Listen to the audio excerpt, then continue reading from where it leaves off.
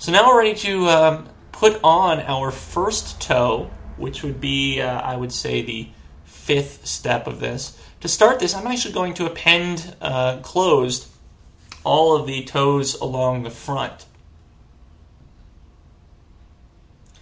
This will allow me to, instead of doing an edge extrusion, uh, which I've been doing for the feet so far, it's going to allow me to uh, extrude out faces uh, as a box model. I prefer this for the toes, um, so that's my method. And uh, I'm going to scale this in after my first extrusion and uh, manipulate it just a little bit. And if I go to the top view here, we're going to notice just how much further my toes actually move out. And I want to really try and get that webbing of skin between the toes. It's something you're going to see me working towards time and again here uh, as I put these together. But now we're just putting together a, a base for these feet.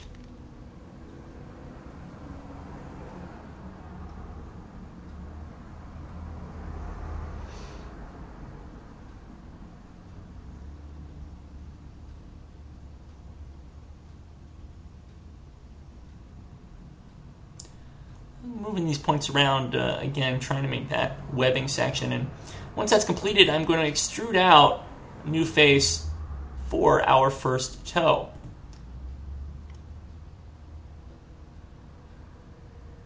I scaled this together a little bit. And uh, my toe looks very lopsided right now. It's also kind of pushed back a little too close to the foot. So I'm going to try and remanipulate each of these points. Now, the problem with making toes, and this is something that happens, I think, a little too often as people working with feet uh, and with hands, uh, is that toes and fingers, uh, people always want to try and put a little bit more level of detail into those sections than would be on the rest of the foot. Uh, and you really have to think about it as one level of detail at a time. Uh, I'm going to build this out, as you're seeing here, at the first level of detail, which is going to make it look very boxy. Uh, but I'm going to have to be comfortable with that for now. And if we want, uh, my next steps, which we're going to approach later, uh, are going to cover putting in a higher level of detail for these areas and how to transition between levels of detail. Uh, we would call the foot that we're at right now maybe level one, uh, and we will look at putting in a level two of detail in a bit on just the toes.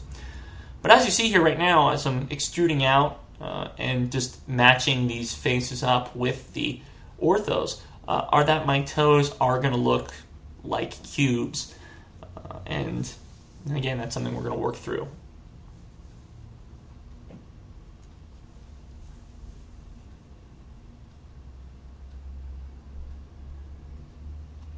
I'm now extruding this top face, uh, and this is going to be my toenail. Like I said, this is a very cubed toe at the moment.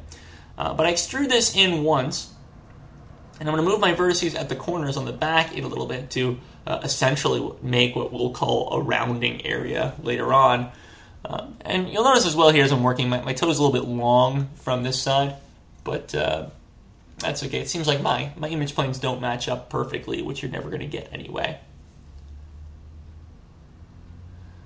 Uh, I'm just going to pull these up a little bit and uh, push the corner of this nail down a bit as well.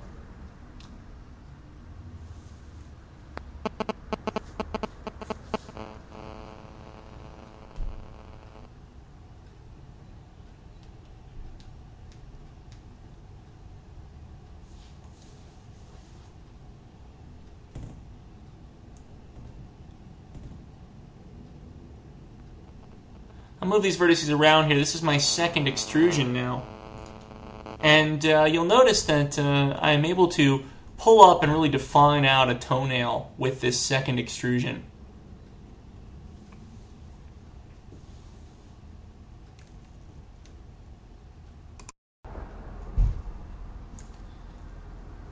So I'm going to continue uh, moving these vertices around. And uh, again, it's just going to be reshaping, I guess, this uh, unshapely square for the moment. But as you see in a few seconds, we're going to start adding in some other levels of detail. So what we're going to do now with the split polygon tool here, just cutting up this edge around my toe. Uh, and this, of course, gives me two faces where there were one. But again, at the ends of this, as I meet the foot, I'm going to have five-sided faces. I'm going to do this through the uh, I guess, lengthwise section of the toe as well.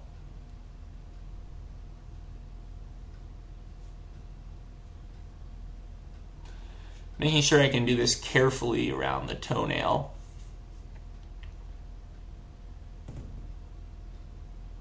And up into the foot. Now with these points, uh, I'm now going to uh, be able to move around um, my vertices to make a hopefully more rounded shape. And that's what you're going to see is going to happen over these next couple of steps. So I will keep moving these. You just watch.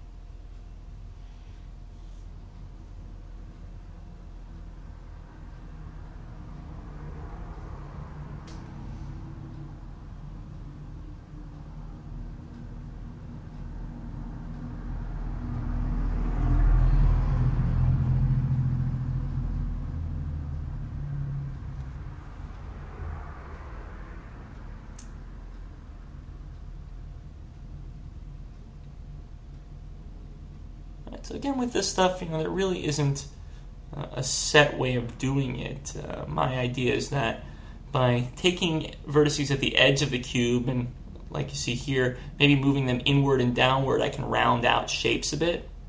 Uh, but other than that, it's uh, move it till it feels more rounded, and that's, I guess, the artistry of all of this. Uh, again, this would be another place where the sculpt geometry tool would probably really come in handy, uh, but thank you, Maya 2008, for your wonderful bug.